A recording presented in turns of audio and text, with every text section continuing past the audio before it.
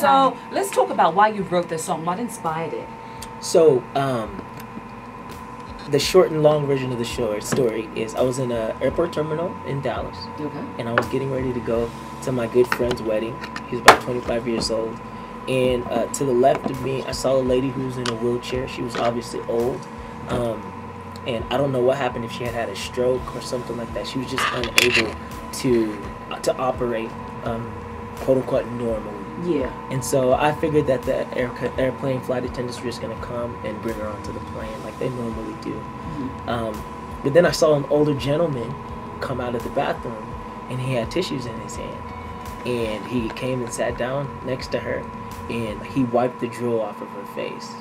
And at this point, I realized that obviously they're married, Yeah. and uh, the craziest thought came to my mind. Um, you know, I'm getting ready to go and experience the wedding of my 25 year old friend who's full of life, vibrant, Yeah. and healthy, and they're getting ready to they're getting ready to make vows to each other that they're going to love each other until death do them part, uh, in sickness and in health. And this couple that I'm sitting next to, at one stage, they were 25, full of life, everything. They had everything, the world at their hands. But then something happened. Something happened, and now she's in a position where he has to wipe the drool off of her face.